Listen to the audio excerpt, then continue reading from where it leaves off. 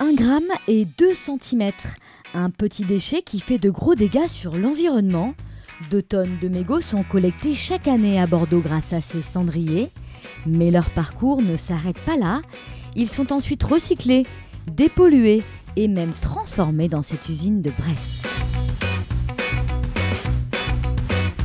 Ils tombent par ici, ils arrivent euh, dans ce broyeur avec une vis sans fin qui vient écraser le mégot.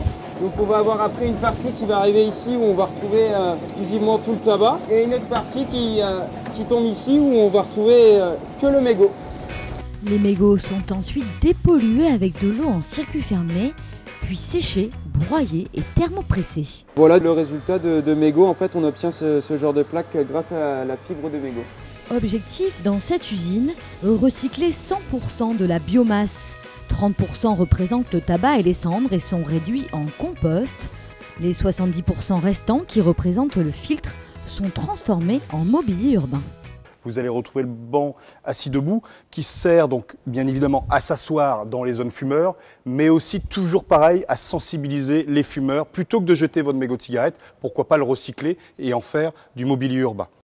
Le mégot a avant tout un rôle, on va dire, d'utilité publique qui est euh, de sensibiliser, amener à réduire le jet du mégot au sol.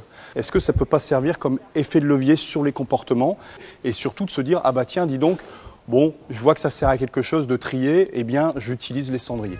Alors pour que votre mégot ne finisse pas dans la Garonne ou sur le trottoir, pensez à utiliser les 123 cendriers présents dans le centre-ville de Bordeaux.